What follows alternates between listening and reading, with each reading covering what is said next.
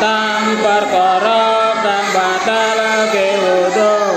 Ingkang dingin ya iku sebabe metu barang tan metu saking salah sijine. Kubur kubur senajan bagus rupane.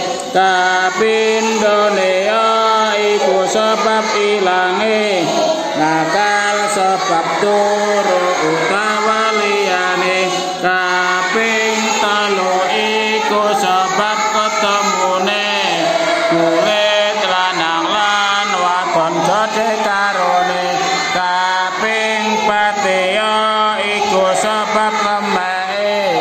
kumpule wong liya utawa dheweke.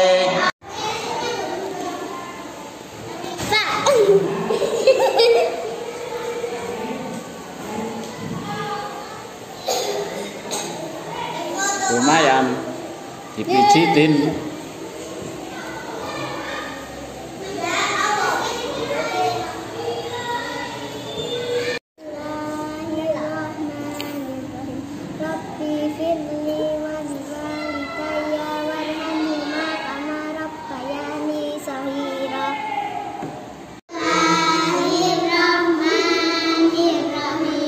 prop